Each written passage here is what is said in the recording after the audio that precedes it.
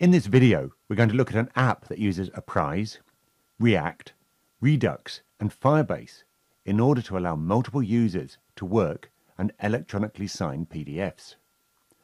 There's a companion video to this one that demonstrates how to configure Firebase and the code required to use this app. You'll find a link to that video in the comments below. For now though, let's start by signing up a user. We'll call them Andy and we'll give them an email address of andy at aardvark.test.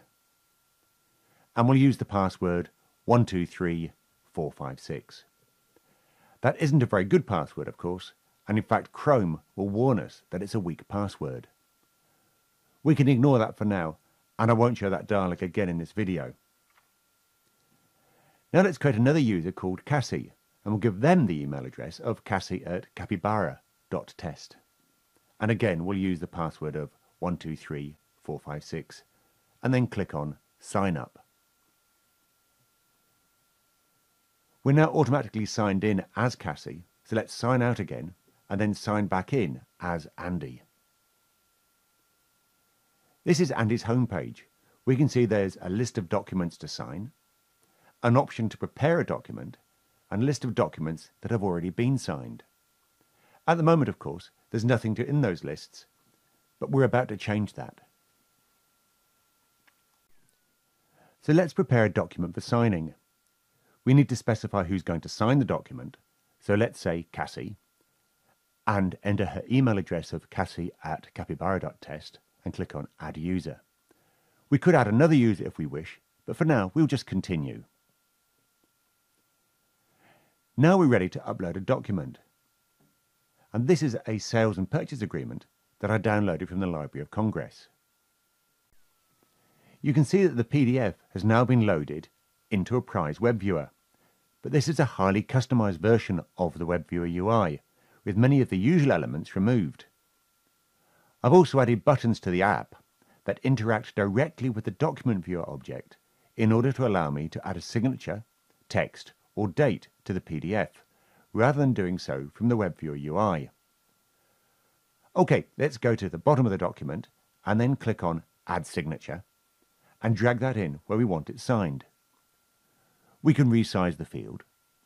And then let's add another one for date. And again, we'll resize that field. When we're ready, we can click on send.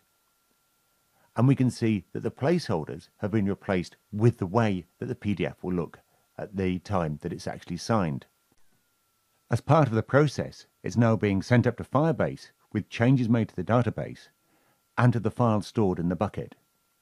If we now log out as Andy and log back in as Cassie, we can see on Cassie's homepage that there's now a document for us to sign that was created by Andy on the 12th of February 2025. So click on Sign.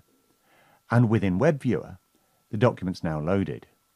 It's quite a big document, and maybe Cassie doesn't want to read all of it because she's seen it before. So she can click on Next Field, which will take us to the fields that need to be signed. She can click on the signature field, enter a value, click on Create, and that will be added to the PDF. She can also click on the Date field and enter Today. When she's finished, she clicks on Complete Signing. The changes are stored in Firebase. Cassie's homepage no longer shows any documents for her to sign because she's already done them all. If she now signs out, and Andy signs back in, then he can see that now there's a document that needs to be reviewed. He can also see who signed it, in this case Cassie, and when. So if he clicks on View and he scrolls down the document, he'll find that at the bottom of the document in the signature field, there's now a signature, and also the date. He can now either download the file to store it, or he can say he's done viewing, which takes him back to his home page. Now this is quite a simple app, and you could extend it to do many other things.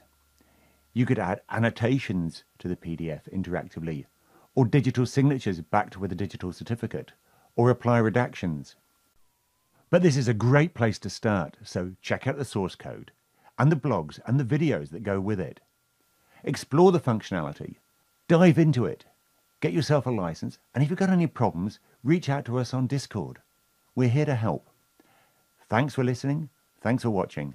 Have a nice day.